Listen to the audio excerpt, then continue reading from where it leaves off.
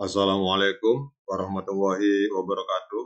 Eh, Teman-teman, untuk kali ini kita akan eh, update informasi tentang XRP atau kasus Ripple. Jadi ada sebuah artikel di sini tentang dunia perbankan yang memperhatikan perkembangan kasus Ripple. Jadi seperti kita ketahui bahwa XRP ini sudah mengalami atau menjalani sidang dengan SEC atau Lembaga Keuangan Amerika sudah hampir berjalan dua tahun. Selama ini yang menjadi uh, interest dari para para holder XRP Army ternyata bukan hanya para XRP Army yang mengamati secara serius kasus ini, tapi wabil terkhusus lagi adalah dunia perbankan juga ternyata eh, sangat serius mengikuti pertempuran yang sedang berlangsung dengan Komisi Sekuritas dan Bursa Amerika Serikat.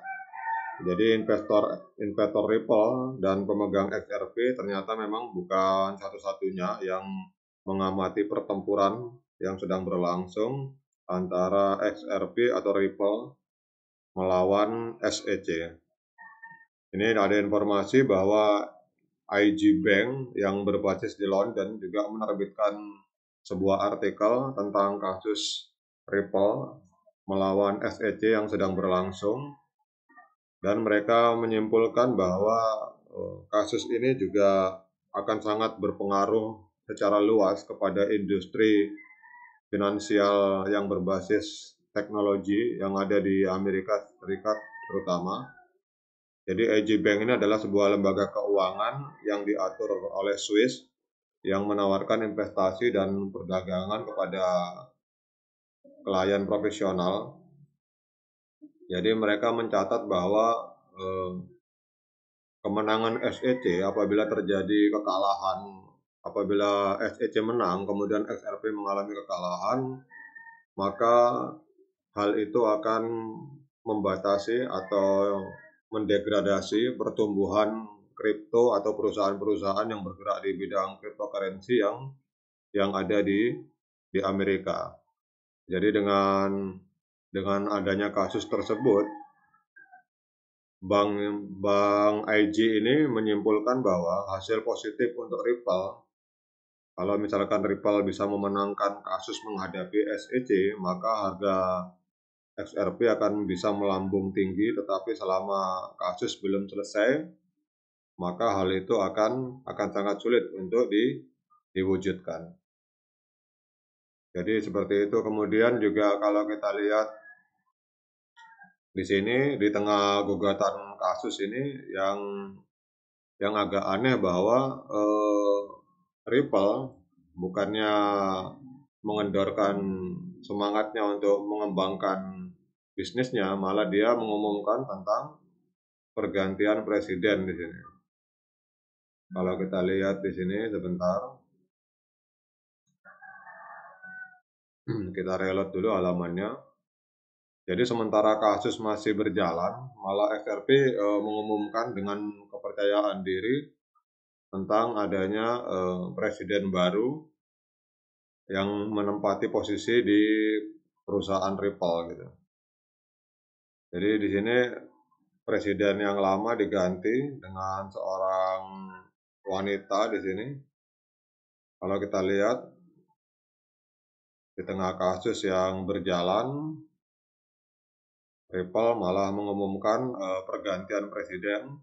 Apakah itu ada indikasi bahwa presiden yang lama kurang kinerjanya kurang bagus atau bagaimana, mungkin teman-teman punya pendapat, silakan komen di kolom komentar. Jadi Ripple di sini mengumumkan uh, pergantian presiden pada saat kasus sedang sedang panas-panasnya melawan SEC. Kemudian kalau di sini kita lihat sekarang ternyata XRP juga mulai mengekspansi ke dalam wilayah Web 3.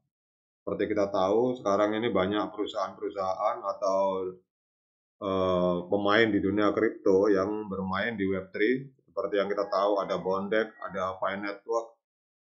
Jadi XRP pun ternyata juga masuk juga merambah di dalam uh, Web3.